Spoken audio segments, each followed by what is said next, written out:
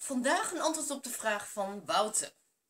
Eens in de zoveel tijd heeft de vrouw van Wouter het weer in haar hoofd gehaald om haar calorieinname flink te verminderen. Om op dieet te gaan. Om de kilootjes waar ze wel graag van af wil te kunnen verliezen.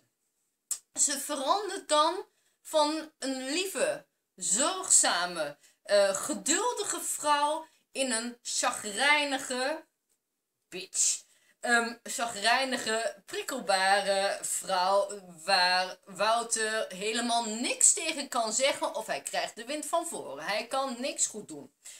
Dit vindt hij niet bepaald prettig en in dat opzicht, tuurlijk, wil hij wel graag een slanke vrouw. Maar in dat opzicht heeft hij liever dat zijn vrouw uh, niet zo regelmatig op dieet gaat als dit het gevolg is. Namelijk een behoorlijk onvriendelijke vrouw verkrijgen daardoor. Zijn vrouw zegt namelijk, beweert namelijk dat Um, haar prikkelbaarheid, haar korte lontje, um, haar impulsieve, uh, strijd, uh, strijdvaardige, strijdlustige reacties, um, haar, haar katterige gedrag het gevolg is van het dieet. Dat dit niet te voorkomen is. Dat dit een logisch gevolg is van je lichaam steeds te weinig calorieën brandstoffen geven dan je lichaam eigenlijk nodig heeft in die cellen om voldoende energie te kunnen produceren om alles uit te voeren wat jouw lichaam uit heeft te voeren. Ja, daar wordt jouw lichaam niet vrolijk van en dus uh, ontstaat daar ook een soort van onrust en heel makkelijk prikkel baas, zagrijnig, kortaf gedrag komt daaruit voort. Al dus de vrouw van Wouter.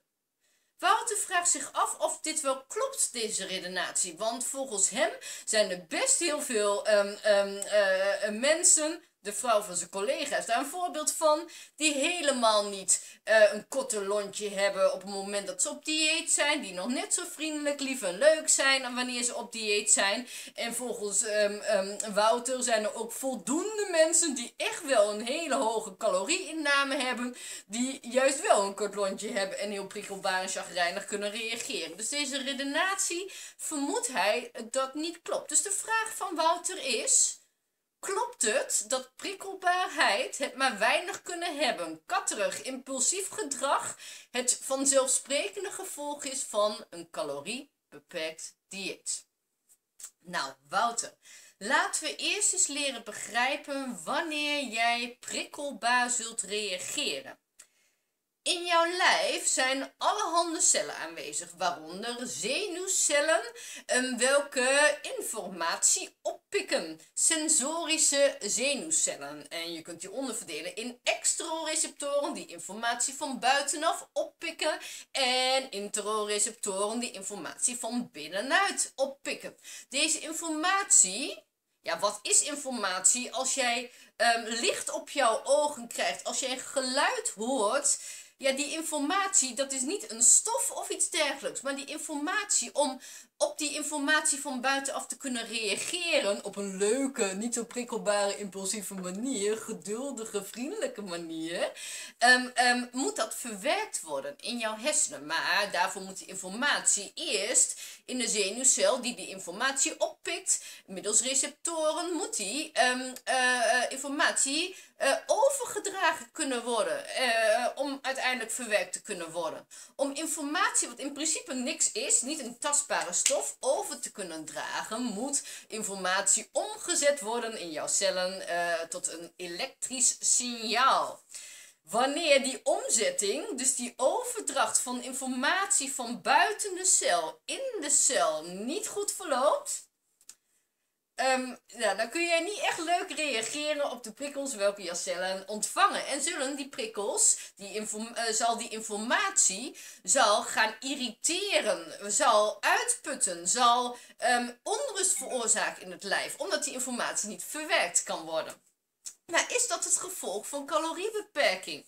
Uh, jij merkt dat je vrouw um, dus uh, overprikkeld raakt door alles wat jij zegt en doet wanneer ze op dieet is. Zij koppelt dit aan caloriebeperking. Nee om prikkels te kunnen, om überhaupt prikkels te kunnen ontvangen, moet er spanning op jouw celmembranen staan. Membraanspanning.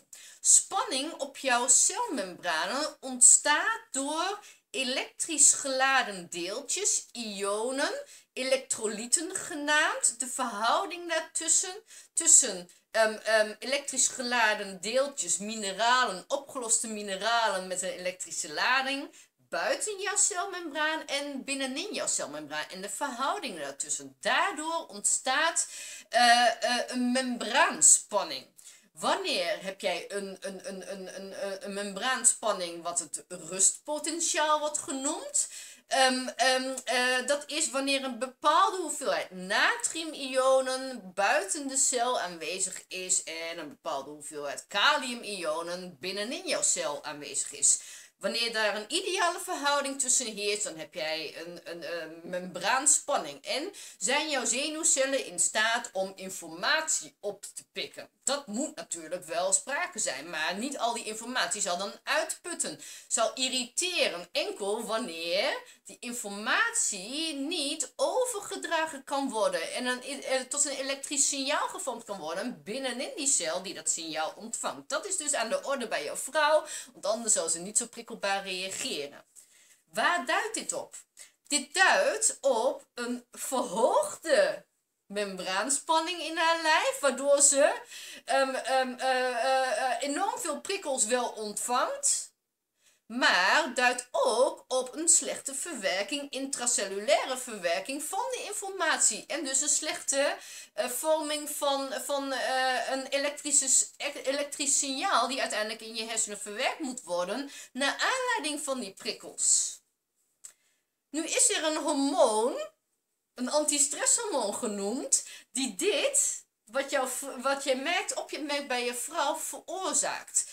Um, wanneer het antistresshormoon cortisol geproduceerd wordt in je lijf, wat zal deze veroorzaken? Een verhoogde bloedsuikerspiegel, maar ook een verhoogde membraanspanning. Dit hormoon zorgt namelijk voor meer natrium buiten jouw cellen dan normaal gesproken. En je hoorde net, de spanning op jouw celmembranen hangt samen met het aantal natriumionen aan de ene kant en een, uh, en een goede verhouding tussen, tussen kalium aan de andere kant. Dit hormoon zorgt voor meer natrium en dus een verhoogde spanning op jouw celmembranen. Dus ook een verhoogde spanning op jouw zenuwcellen, waardoor ze veel prikkelbaarder worden. Maar waar zorgt deze ook voor?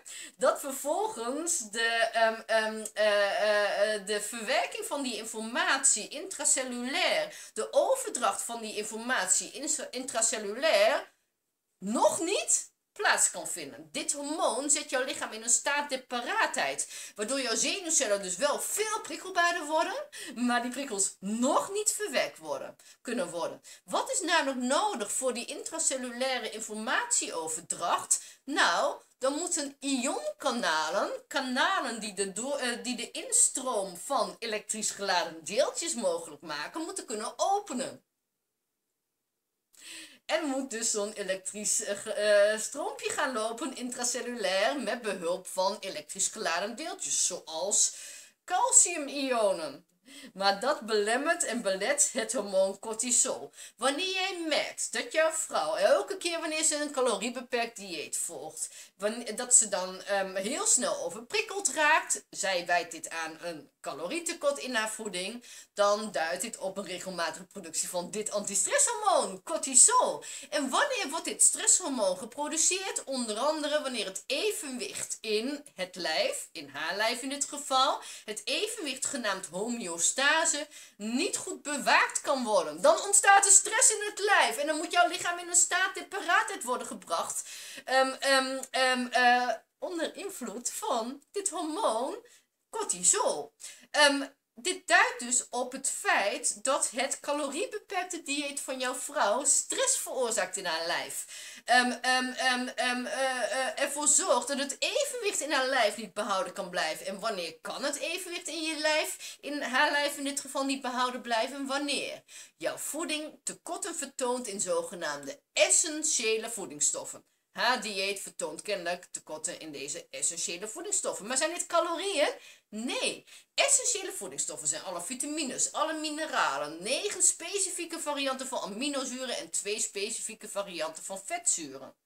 Een caloriebeperkt dieet hoeft in deze essentiële voedingsstoffen met name bouwstoffen, hoeft geen tekorten te vertonen. Dus hoef jij ook niet op het moment dat um, jij een caloriebeperkt dieet volgt, de productie van dit stresshormoon te veroorzaken. Hoeft ook niet een verhoogde membraanspanning te ontstaan. Hoef jij niet uh, veel prikkelbaarder dan anders te zijn. Hoeft het niet zo te zijn dat alles wat jij, Wouter, tegen haar zegt, um, um, haar irriteert. Nee, zolang en wanneer ze maar geen tekorten in essentiële voedingsstoffen zou hebben in haar caloriebeperkte dieet, dan zou ze in principe zou ze de um, productie van dit antistresshormoon, die voor die staat der paraatheid zorgt en die ervoor zorgt dat jij veel sneller geprikkeld kan raken, maar vervolgens die prikkels niet goed verwerkt kunnen worden, niet intracellulair overgedragen kunnen worden, kan in principe voorkomen worden. Dus uh, je vermoeden klopte, um, Wouter, en je vrouw heeft niet gelijk. Nee, haar prikkelbaarheid is dus niet een vanzelfsprekend gevolg van haar caloriebeperkte dieet.